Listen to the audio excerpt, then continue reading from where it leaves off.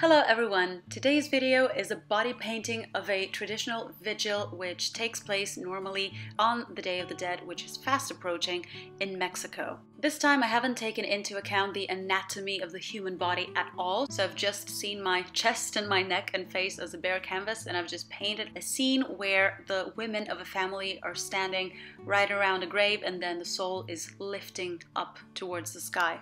I do this sort of thing mm. every year. I do have Mexican family, so this is kind of an homage to them and their culture. So I'm starting with my aqua color in black. This is by Kryolan.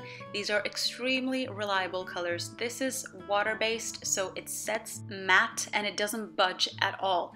Now, I'm by no means a painter. I'm doing this in a completely amateur way. I basically stopped experimenting with color when I was around 12 years old, so ever since then I've been sketching on paper with pencil, which is my comfort zone. So what I'm trying to say is I might not be the perfect person to give you advice when it comes to art and painting, but I can just tell you what products I'm using, what concept I'm basing this off of. So Right now I'm combining blue with a little bit of white. I want to start off with a light blue for the sky where it meets the horizon and then as it's moving up it's going to be turning darker and darker until it ends up completely black.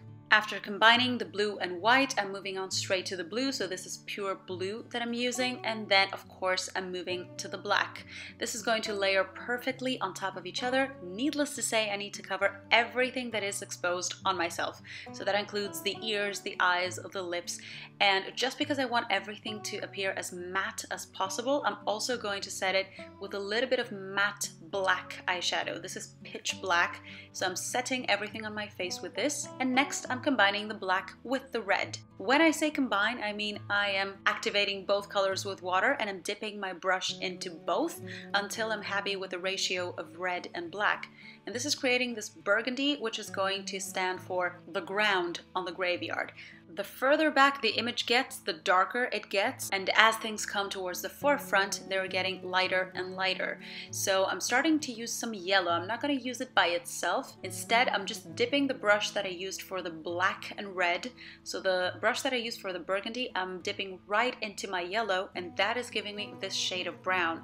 Normally the tombstones would be I guess, marble or a grayish or even white shade, but just because they're lit by the candles and all the lighting is very, very warm, we can't see it right now, but I'm going to add it in a little bit, I'm guessing that everything is going to have this warm wash of color on it. I thought I would also add a little bit of purple in there. This is, again, water-based, so very matte, very reliable. I'm filling in the skirts or the garments of the ladies. I hadn't decided early on what type of people I was going to draw, what age or what gender or what they were going to be, but of course they ended up as women because that's what I tend to draw usually. And at this stage, all I'm doing is filling in the gaps. I don't want any part of my skin to be exposed, of course. So just like a little kid would outline their drawing and then they would go in and fill it in with color, this is exactly what I'm doing. It is a simple outline of all the figures and all the objects and bits you want to have on there, only after I fill them in, I'm going in with some shading.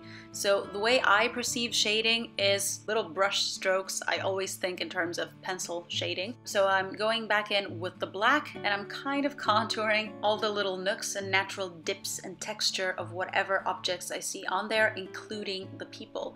So when I'm saying I'm contouring, I mean I'm deepening up mostly the outlines, but also the center in certain parts of the graves and the ground and the little red bushes themselves, just so that looks a little bit more realistic. By no means am I aiming to create a realistic painting because that would have been an unsuccessful task right off the bat. So we're going to go for this more childlike appearance on the whole painting. Of course I'm adding the crosses on the gravestones that are peeking through the horizon and I'm going to shade the faces of the people as well. So like I said, this type of color is absolutely great, very reliable, but I'm moving on to my cream colors as well. So this is like oil painting. This is going to be much more vibrant, much more potent and pigmented. So the more I layer my aqua colors, the more translucent they're going to get, which is not what I'm going for. This is why I'm moving on to my cream colors. And the first thing I'm going to do with them is I'm going to use the red to create the candle holders.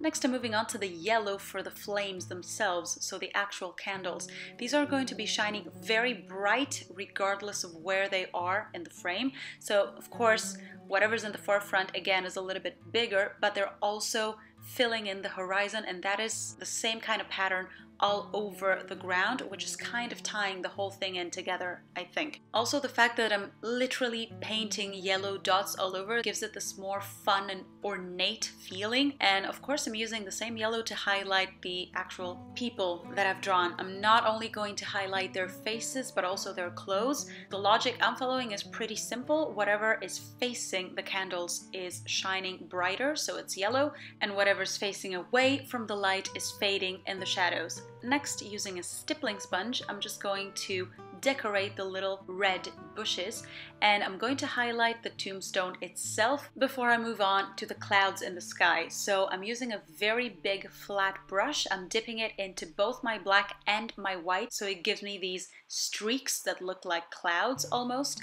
And then I'm dipping straight into my white and I'm just creating this female figure. In my imagination it's kind of a soul which is flying up towards the night sky. The little white lines starting from the graves and moving up are supposedly more souls that are following that big one in the center. So that is kind of my focal point. I'm also adding a few stars and that is it for the finished Day of the Dead body painting look. Now this took about two and a half hours to complete and it took another half an hour to wash off in the shower, but it's all worth it as a nod to this wonderful tradition that I wish I knew more about. So if you do, please pop your information in the comments down below.